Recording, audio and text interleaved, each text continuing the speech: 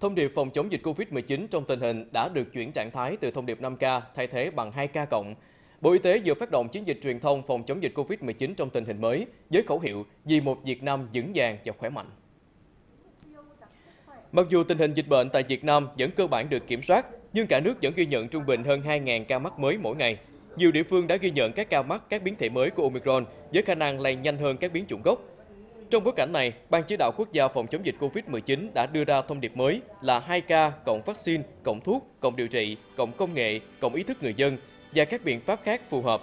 với ba trụ cột là xét nghiệm, cách ly, điều trị. Dịch COVID-19 đã được bản được kiểm soát và chúng ta chuyển sang à, quản lý bền vững, thích ứng an toàn linh hoạt à, với à, dịch bệnh, tạo điều kiện à, mở cửa đất nước cũng như là phục hồi và phát triển kinh tế, đảm bảo ổn định à, đời sống của người dân. Vì vậy à, là các cái yêu cầu về